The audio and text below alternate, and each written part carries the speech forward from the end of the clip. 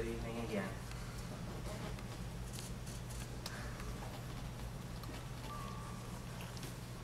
Members of the board and guests, it's my pleasure to recognize student athletes who have won state championships in MPSSA competition.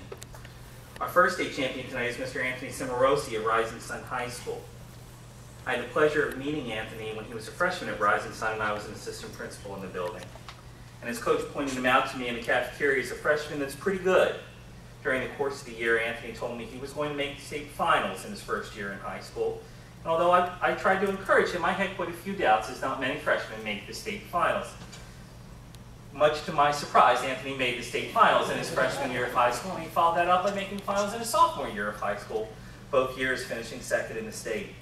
This year again, he returned to the state finals in wrestling, this year in the 152 pound division, and scored a decisive win in which he only gave up two points in the entire wrestling tournament for his first state championship. Knowing Anthony and his family, I know the tremendous amount of work that has gone into this accomplishment, and we're very proud of him and how he's grown as, since he's a freshman at Rising Sun High School. So on behalf of Cecil County Public Schools, I would like to congratulate Anthony on this championship, and we're going to present him a certificate tonight recognizing his title.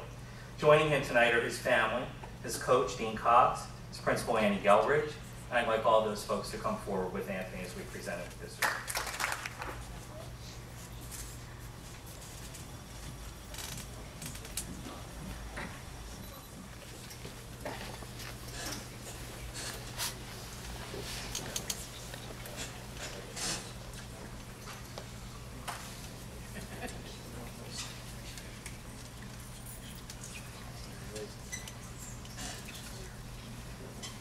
like to ask uh, Principal, Mr.